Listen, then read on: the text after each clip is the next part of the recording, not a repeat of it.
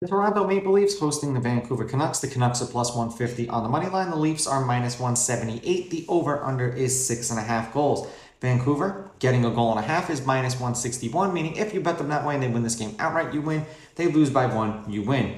The Maple Leafs laying a goal and a half are plus 137, meaning if you bet them that way, they must win by two. Both of these teams are on losing streaks. The Canucks are on a one game losing streak.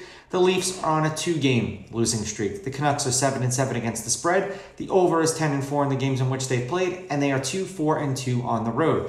The Leafs are 3 and 11 against the spread. The under is 9 and 4 in the games in which they've played, and they are 5 1 and 1 at home.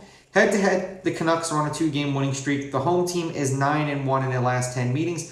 Vancouver is 6 and 4 against the Leafs in their last 10. The under is 7 2 and 1 in their last 10 meetings. The under 6.5 is 8 and 2. The underdog has won the last two games. The underdog is 6 and 4 on the money line. The team getting a goal and a half is 6 and 4 on the money line.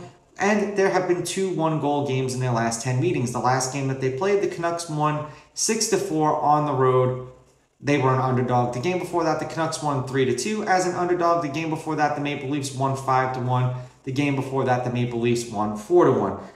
The Leafs are playing bad, but I think they win at home. I think this will be a close game. I'm going to take Toronto with the money line, Vancouver getting the goals, and I'm going to go under and say that this is like a 3 to 2, 2 to 1 kind of game. These are just my picks. If you disagree, please go with your gut and please bet responsibly.